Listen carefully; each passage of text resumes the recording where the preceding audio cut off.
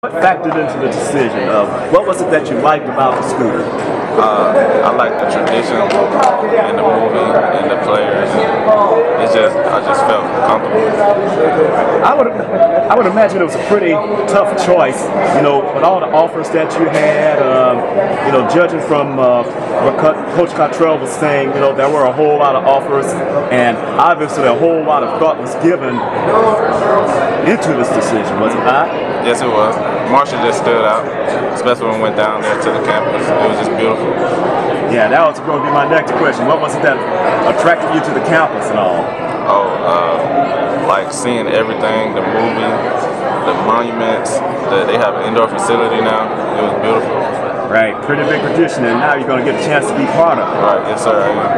All right, let's talk about uh, the season at Chickasaw. It had to be a memorable season, and obviously uh, everything that happened led up to this moment. So I can imagine that you're pretty excited. What are your thoughts right now? You know, after seeing all these people come out, you know, after having a whole bunch of seniors uh, joining you and signing and being the first signing class of Chickasaw High School. Yeah, it's just amazing to come from nothing and feel what we have, what we done did, everything. And I would imagine that people upon seeing this are going to take note that a small school system can accomplish a whole lot. Yes, they are. All right. Uh, what kind of impact are you hoping to make once you get to Marshall? I mean, I'm trying to come in and make plays my freshman year. Have you had a chance to uh, talk with the coaches one-on-one? Yes, sir. I did. Okay. What kind of feedback did you get from them?